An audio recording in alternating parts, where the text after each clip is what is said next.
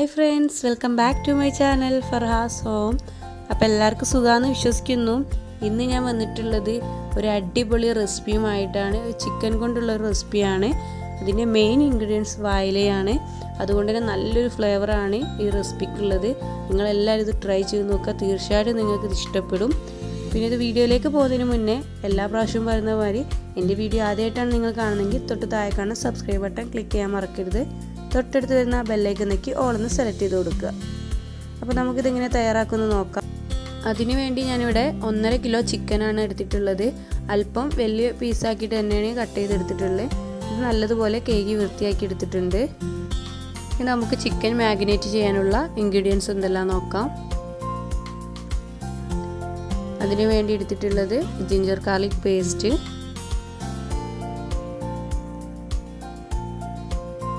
ഉപ്പ് red chilli powder garam masala കറിവേപ്പില cornflour പൊടി മഞ്ഞൾപ്പൊടി മൈദ.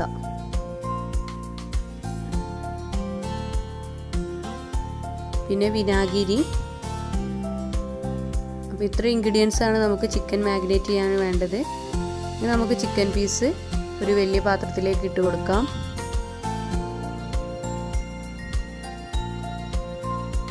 പിന്നെ എല്ലാ ചിക്കൻ പീസും ഇട്ട് കൊടുത്തിട്ടുണ്ട്. നമുക്കിതിലേക്ക് മൂന്ന് tablespoon ginger garlic paste ഒഴിച്ചു കൊടുക്കാം. ഇനി ഇതിലേക്ക് നേരത്തെ മാറ്റി വെച്ചിട്ടുള്ള മസാല ഇട്ട് കൊടുക്കാം. രണ്ട് ടേബിൾ സ്പൂൺ കോൺഫ്ലവർ പൊടി അര ടേബിൾ സ്പൂൺ ഗരം മസാല രണ്ടര tablespoon red chilli powder രണ്ട് ടേബിൾ സ്പൂൺ മൈദ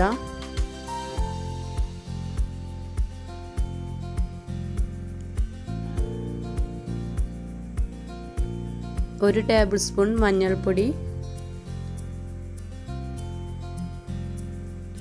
ആവശ്യത്തിനുള്ള ഉപ്പ്. അല്പം കറിവേപ്പില. ഇവ ഇട്ട് കൊടുക്കാം. ഇനി നമുക്ക് ഇതിലേക്ക് വിനാഗിരിയാണ് ഒഴിക്കേണ്ടത്. ഒട്ടും വെള്ളം ചേർക്കുന്നില്ല. വിനാഗിരിയുടെ വെള്ളത്തിലാണ് നമ്മളിത് കുഴച്ചെടുക്കുന്നത്. അപ്പോൾ ഞാനൊരു നാല് ടേബിൾ സ്പൂണോളം വിനാഗിരി ഒഴിച്ച് കൊടുത്തിട്ടുണ്ട്. നമുക്കിത് നല്ലതുപോലെ ഒന്ന് മിക്സ് ചെയ്തെടുക്കുക. എല്ലാ വശത്തും ആവുന്ന രീതിയിൽ നല്ലതുപോലെ തന്നെ മിക്സ് ചെയ്തെടുക്കുക.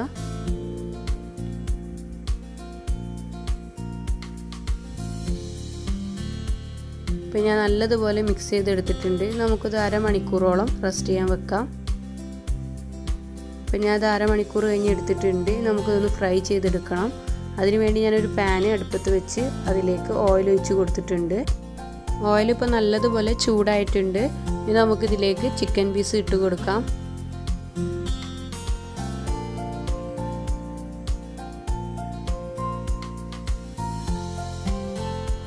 ഇത് ലോ ഫ്ലെയിമിലിട്ട് ഇതൊന്ന് കുക്ക് ചെയ്തെടുക്കണം. അപ്പോൾ അതാ ചിക്കന്റെ ഒരു വശം ബ്രൗൺ നിറമായിട്ടുണ്ട്. ഇനി നമുക്കിതൊന്ന് മറിച്ചിട്ട് കൊടുക്കാം.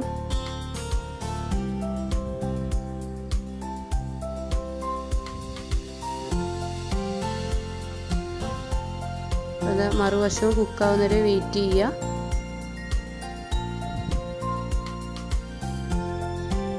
അപ്പോൾ നല്ലതുപോലെ ചിക്കന് കുക്കായിട്ടുണ്ട് ഇനി നമുക്കിതിൽ നിന്ന് കോരിയെടുക്കാം.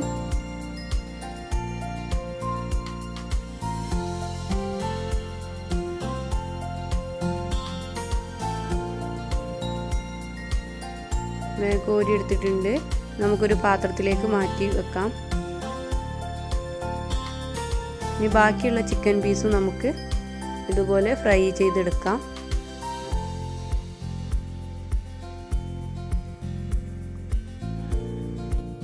ബാക്കിയുള്ള ചിക്കനും ഞാൻ ഫ്രൈ ചെയ്തെടുത്തിട്ടുണ്ട്. ഇനി നമുക്കിതേ ഓയിലിൽ തന്നെ മസാല റെഡിയാക്കണം അതിനുവേണ്ടി ഞാൻ ഇതിൽ നിന്നും അല്പം ഓയിൽ മാറ്റി വെക്കുന്നുണ്ട്.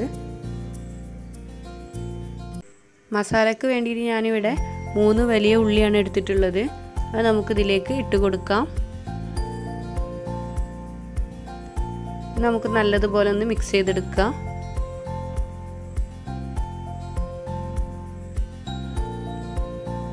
അപ്പോൾ അതാ ഉള്ളി നല്ലതുപോലെ ഒന്ന് കുക്കായി വന്നിട്ടുണ്ട്. ഇതിലേക്ക് മൂന്ന് tablespoon ginger garlic paste ഇട്ട് കൊടുക്കാം.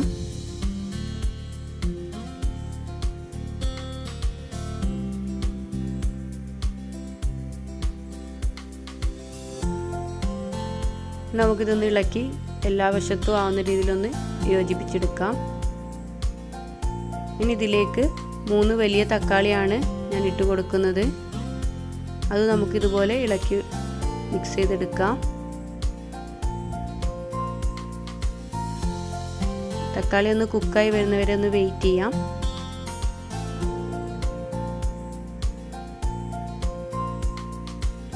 ഇതാ കണ്ടില്ലേ നല്ലതുപോലെ തക്കാളിക്കൊന്ന് ഒതുങ്ങി വന്നിട്ടുണ്ട്. ഇനി നമുക്കിതിലേക്ക് ഒരു മാഗി ക്യൂബ് ഇട്ട് കൊടുക്കാം.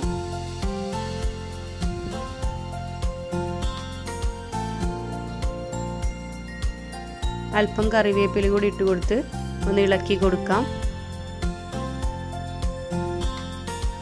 ഇതിലേക്ക് നമുക്ക് മസാലകൾ ചേർക്കാം. രണ്ട് ടേബിൾ സ്പൂൺ മുളക് പൊടി. അര ടേബിൾ സ്പൂൺ മഞ്ഞൾപ്പൊടി രണ്ട് ടേബിൾ സ്പൂൺ മല്ലിപ്പൊടി ഇവയിട്ട് നല്ലതുപോലെ ഒന്ന് മിക്സ് ചെയ്തെടുക്കുക. മസാലയുടെ പച്ചമണം മാറുന്നവരെ നല്ലതുപോലെ ഒന്ന് കുക്ക് ചെയ്തെടുക്കുക. ഇതിലേക്ക് ആവശ്യമുണ്ടെങ്കിൽ മാത്രം ഉപ്പ് ഇട്ടാൽ മതി.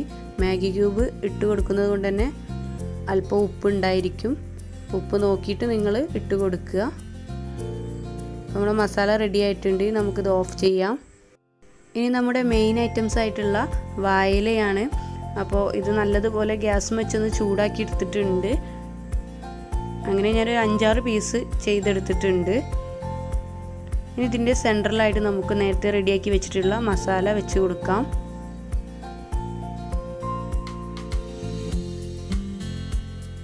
ഇതിന്റെ മുകളിലായിട്ട് ചിക്കൻ പീസ് വെച്ച് കൊടുക്കുക. ഞാനിവിടെ രണ്ട് ചിക്കൻ പീസാണ് വെച്ച് കൊടുക്കുന്നത്. ഇനി അതിന്റെ മുകളിലായിട്ട് വീണ്ടും നമുക്ക് മസാല വെച്ച് കൊടുക്കാം. ഞാൻ രണ്ട് ടേബിൾ സ്പൂണോളം മസാല മുകളിലായിട്ട് വെച്ച് കൊടുത്തിട്ടുണ്ട്. ഇനി അതിന്റെ മുകളിലായിട്ട് അല്പം മല്ലിയിലും കൂടി വിട്ട് കൊടുക്കാം. ഇനി ഇതുപോലെ നമുക്കിതൊന്ന് കവർ ചെയ്തെടുക്കണം. രണ്ട് സൈഡിൽ നിന്നും കവർ ചെയ്യുക. അതിനുശേഷം മറുവശവും ഇതുപോലെ കവർ ചെയ്തെടുക്കുക. അതുപോലെ നല്ലത് പെർഫെക്റ്റ് ആയിട്ട് കവർ ചെയ്തെടുക്കുക. ഇനി നമുക്ക് ഒരു നൂൽ ഉപയോഗിച്ച് ഇതൊന്ന് കെട്ടിവെക്കാം ഇനി നമുക്ക് ബാക്കിയുള്ളതും അതുപോലെ തന്നെ ചെയ്തെടുക്കാം.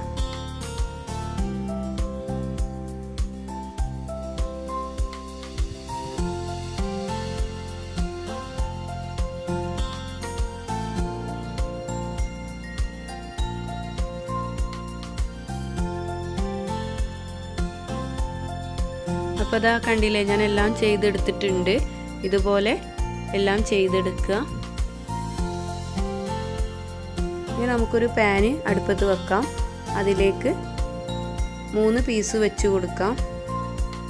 എന്റെ ഇവിടെ മൂന്ന് പീസൊക്കെ ഉള്ള. അതുകൊണ്ടാണ് ഞാൻ മൂന്ന് പീസ് വെച്ചിട്ടുള്ളത്. ഇനി നമുക്കിതൊരു അടച്ച് വെച്ച് ഒരു പതിനഞ്ച് മിനിറ്റോളം ഒന്ന് ചൂടാക്കിയെടുക്കാം. അപ്പോൾ അതാ ഒരു പതിനഞ്ച് മിനിറ്റിന് ശേഷം ഞാൻ തുറന്നു നോക്കിയിട്ടുണ്ട്. അപ്പം നല്ലതുപോലെ ചൂടുണ്ട്. ഇനി നമുക്കിതൊരു പാത്രത്തിലേക്ക് മാറ്റാം.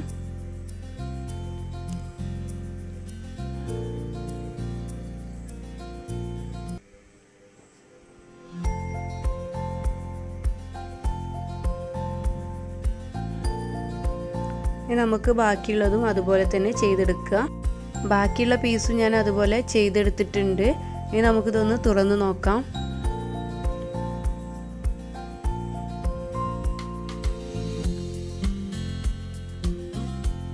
അപ്പോൾ അത് തുറക്കുമ്പോൾ തന്നെ നല്ലൊരു സ്മെല്ലൊക്കെ വരുന്നുണ്ട്. കണ്ടില്ല? നല്ല പെർഫെക്റ്റ് ആയിട്ട് തന്നെ കിട്ടിയിട്ടുണ്ട്. നമുക്കിതൊന്ന് കട്ട് ചെയ്ത് നോക്കാം.